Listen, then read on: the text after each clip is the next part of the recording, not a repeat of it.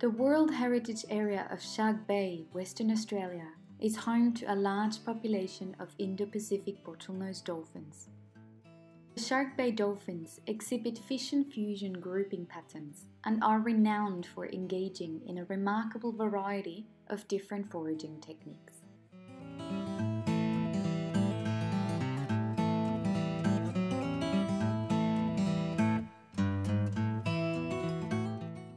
Dolphins, like other toothed whales, are known to be conservative when learning their foraging strategies, meaning that calves tend to adopt their mother's strategies through so called vertical social transmission.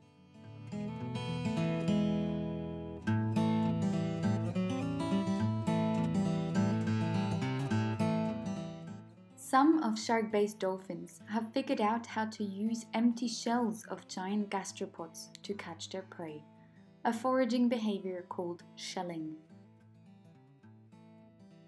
They chase their prey into the empty shell, then insert their rostrum into the aperture of the shell, bring it up to the water surface, and shake it to drain the water and with it the fish out of the shell.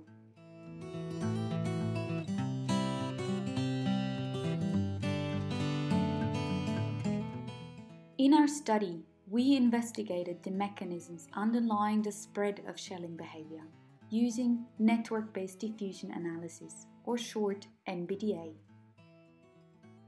NBDA tracks the spread of a behavior through a network and infers that it is socially learned if it follows the network connections. We used a multi-network version of NBDA to differentiate between the relative importance of social learning, environment, and genetics on the spread of shelling.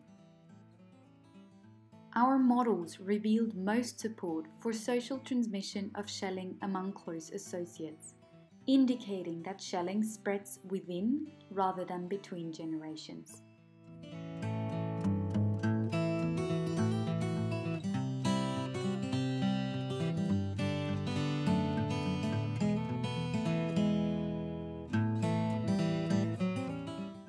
Our study provides the first quantitative evidence for social learning of foraging behavior outside of the mother calf bond in toothed whales and suggests similarities in the cultural nature of dolphins and great apes.